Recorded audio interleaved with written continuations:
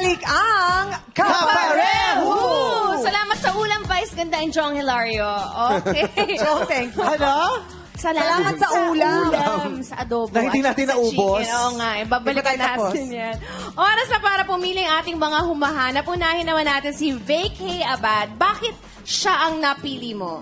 Napili ko siya kasi napaka-sweet niya tsaka magaling siya kumanta. Mm, oh, eto na. Ang napiling kapareho Abad ay si...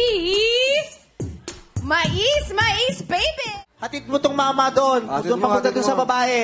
Sabihin mo, huwag niyang Hatid. lolokohin yung babae. Dali. Ano masasabi mo sa kanya, Mayor? Ay, ba't nahiya ka? O, hatid mo siya. la- Dali mo siya doon. O, dali. O, o, punta kayo doon. Dali mo. Ay! Ah. Ah.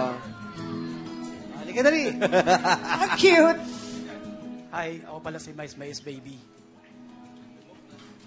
Hi.